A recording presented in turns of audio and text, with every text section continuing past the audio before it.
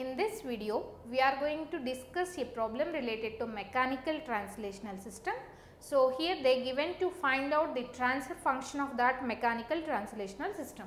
The system is given like this, find the transfer function of the system shown below they are asking. So, whenever they given any mechanical translational system, whether that is mechanical translational or not, we need to see. So, here you can see the elements mass, and spring and dashpot and some friction due to surface.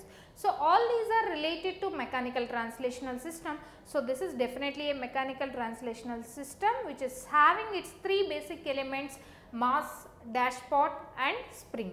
So, here when they given to find out the transfer function of the system, we need to take the output transform by input transform. If you observe this diagram, here the output is in terms of x2 and the input is in terms of f1. So, if you consider x2 of s by f, f1 of s then you are going to get the transfer function of the system. So, for this first we need to note the free body diagrams of each mass. Here we are having two masses. So, one is mass m1 and second is mass m2. We need to draw the free body diagrams for both mass m1 and m2. After drawing free body diagrams, we need to write the force equations. After writing that force equations, from that force equations, by taking Laplace transform, we are going to get the transfer function of the system. This is the process we are going to follow here. So, here what is meant by a free body diagram? Free body diagram of mass m1 I am writing here. So, free body diagram shows all forces acting on that particular mass. So, here I am taking mass m1, the displacement for this mass is in terms of x1. What are the forces acting on this particular mass is means here we are having an external force F1 of t. So, always if you have any external force that we need to indicate in this direction. So, F1 of t and whatever the internal forces are there that internal forces I need to write here opposing forces. So, what are the opposing forces are acting on this mass m1? Force due to that mass itself we need to consider first of all that means Fm1 and another force is due to this spring. So, Fk1 and force due to this dashpot force due to this dashpot B1, FB1 and here force due to this spring. So, that means Fk2, Fk2 is there. So, these are the four forces acting on this mass apart from this F1 of t. So, here I need to write each force equation. So, first what is Fm1 force due to mass element. I already given how to write force equations for each element in mechanical translational system in the introduction class itself. So, now when you are writing force on a mass element, you need to consider acceleration. Acceleration is nothing but differentiation of double differentiation of displacement. Here displacement is x1. So, every time we need to take a constant related to that mass, related to dashpot, related to spring. Here related to mass, the coefficient is m1 and the acceleration is d square x1 by dt square. This is the force equation due to mass, force due to mass. Coming to force due to this dashpot Fb1. So, how will write force due to dashpot? Force due to dashpot is proportional to velocity. So, velocity is nothing but differentiation of displacement. So, proportionality constant we need to consider as friction coefficient B1. So, B1 into velocity means dx by dt, but if you observe this B1, this B1 is not fixed to a reference value. Both sides it is having displacement. Whenever both sides it is having displacement, so you need to consider the difference as your resultant displacement. So, we as we are writing for this body x1 minus x2 you need to take. So, same dashpot is having effect on M2 also. When you are taking consideration of M2, there when you are writing force on B1, then you need to write x2 minus x1. Here force due to that particular dash pot is equivalent to B1 into d by dt of x1 minus x2. So, now here we are having Fk1. So, force due to this spring nothing but displacement. So, coefficient is K1, displacement is x1. Similarly, we are having another spring that is Fk2 force due to second spring Fk2. So, here we need to consider the constant as K2, coefficient as K2, elasticity coefficient as K2. But if you observe this spring, this spring is not fixed to one side.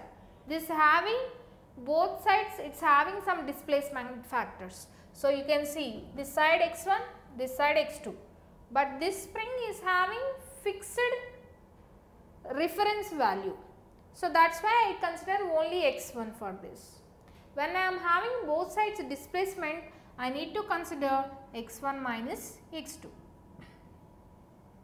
So, according to Newton's second law, applied force is equivalent to opposing forces. So, I am writing that one F1 of t is equivalent to addition of all these forces m1 into d square x1 by dt square plus b1 into d by dt of x1 minus x2 plus k1 x1 plus k2 into x1 minus x2. Finally, what we require means we require transfer function of the system. Transfer function of the system is nothing but x2 of s by f1 of s. We require in s domain, but the given equation is in time domain. To get my s domain, take Laplace transform on both sides. I am taking Laplace transform on both sides. Then I am going to get f1 of s is equivalent to f1 of s is equivalent to I am having m1 into s square x1 of s s square x1 of s plus b1 into so s into x1 of s minus x2 of s.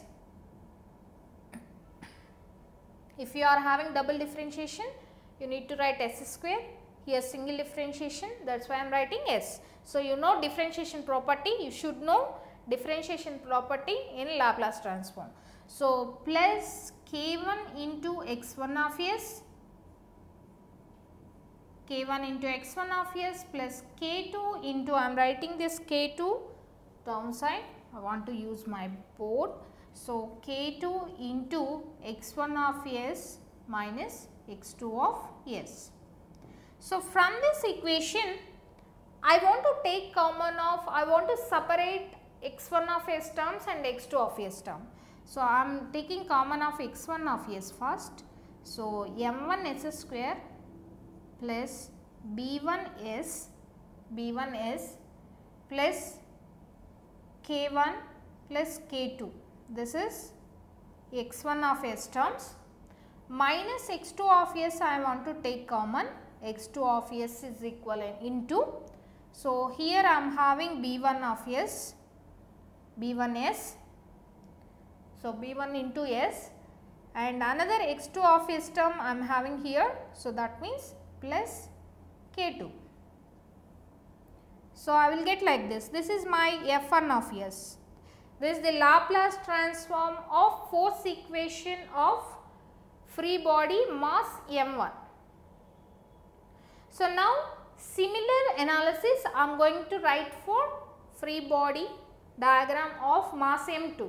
So, I am going to consider my free body diagram of mass m2 you can see here. So, I am going to consider mass m2 mass m2 here the displacement is in terms of x2 what are the forces acting? There is no external force here. Only the opposing forces are acting on this body.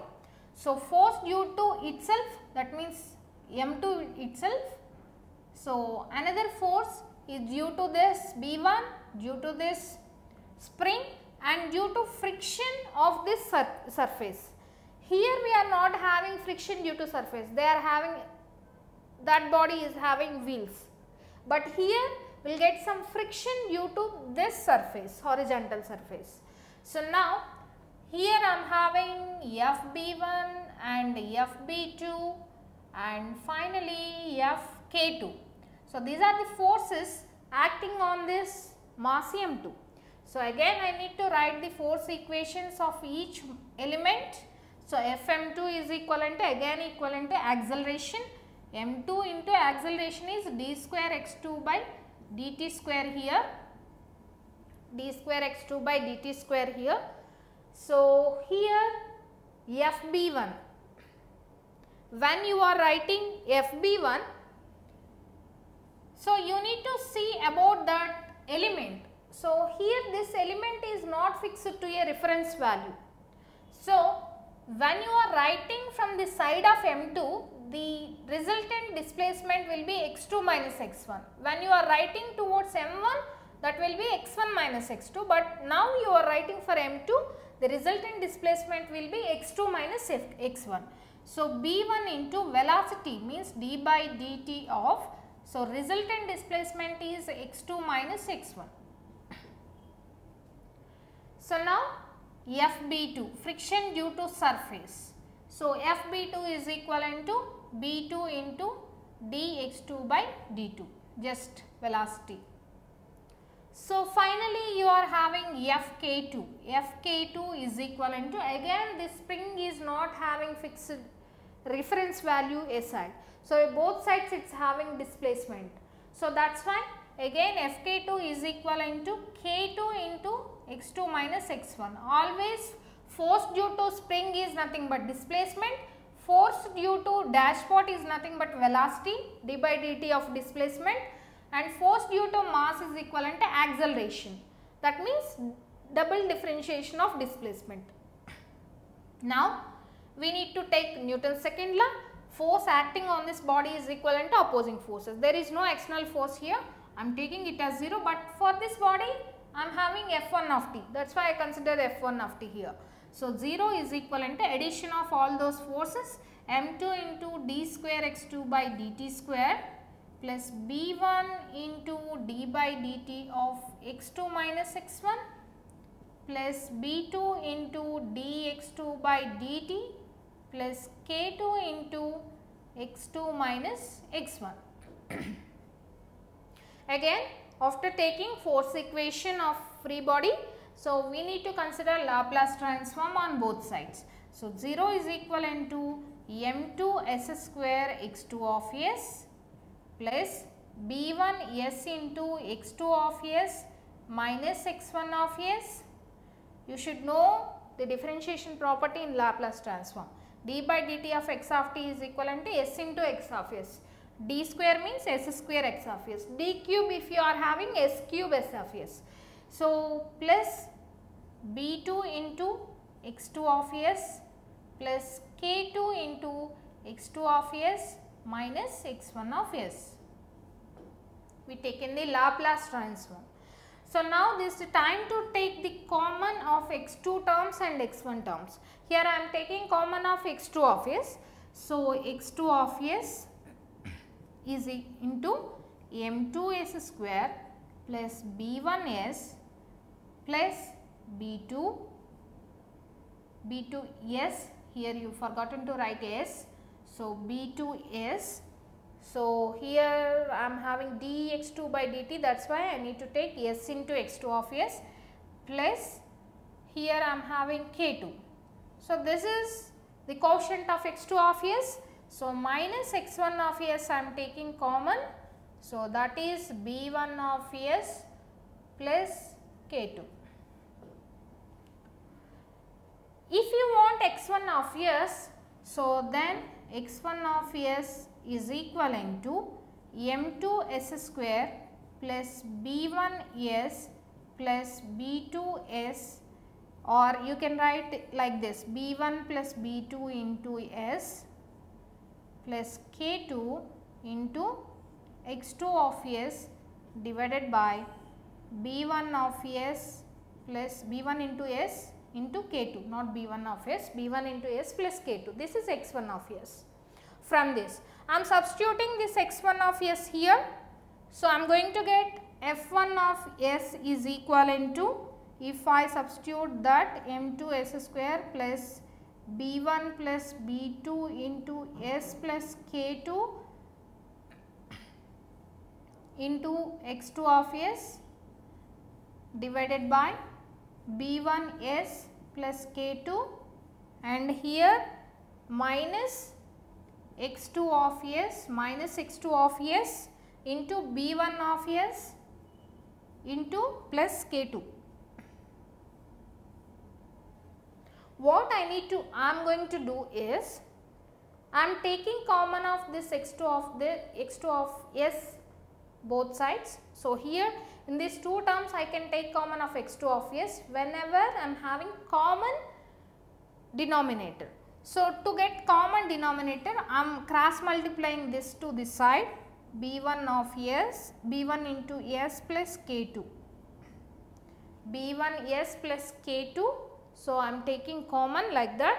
So, b1 s plus k2 b1 s plus b1 not b1 of s this is b1s plus k2 b1s plus k2 whole square you are going to get b1s plus k2 whole square. So, I, I can take common of x2 of s now. So, I can take common of x2 of s now. So, what you require is x2 of s by f1 of s that is your transfer function.